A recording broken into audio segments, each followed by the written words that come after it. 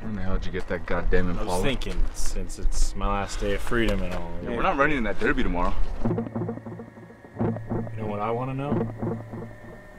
All those years we used to run with Dad, why you never wanted to drive the car.